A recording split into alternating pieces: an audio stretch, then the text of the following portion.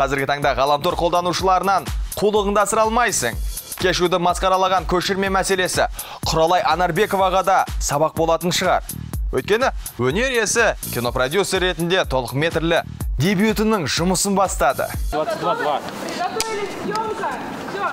алғашқыда қалың көпшілікке актриса ретінде танылған құралай осы жолы қатты қобалжулы өйткені жаңа жобаға продюсерлік ету жұмысы жүктелсе қоюшы режиссер ернар нұрғалиев те толық метрлі бірінші картинасын таспалап жатыр. Бұл комедия жанрындағы фильм брат или брак деп аталады. Брат или брак дегеннің мағынасы жаңағы ағал, ағалар ма әлде өзіңнің бағыңды құру керексің ба деген сияқты мағынада айтылған.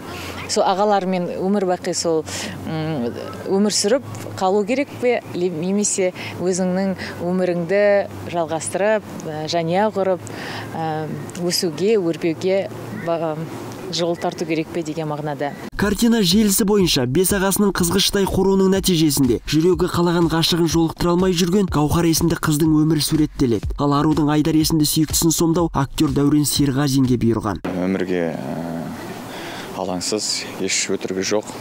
Ә, сәл ә, аңқаулау.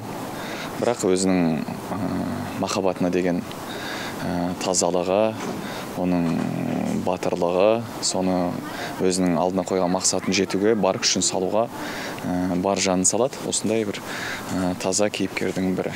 Сонымен қатар бұл картинадағы басты рөлдердің біріне тәуекел мүсілім таңдалыпты. Ұшқыш жігіттің образына енген сері комедияда гауһардың бұрынғы ғашығының кейпіне енеді. Гаухар, я тебе думаю два раза в день.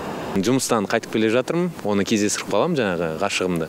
Сол екеуміз кездескен жерден мен оған сол өзімнің ғашық екенімді дәлелдеп тырысып бағамын. Ал отандық кино комедиялардың қатарын толықтыратын брат или брак картинасы осы жылдың қазан айында үлкен экранға жол тартпақ. Серік қазаязбаев ерлан абдуалиев ревью жаңалықтары.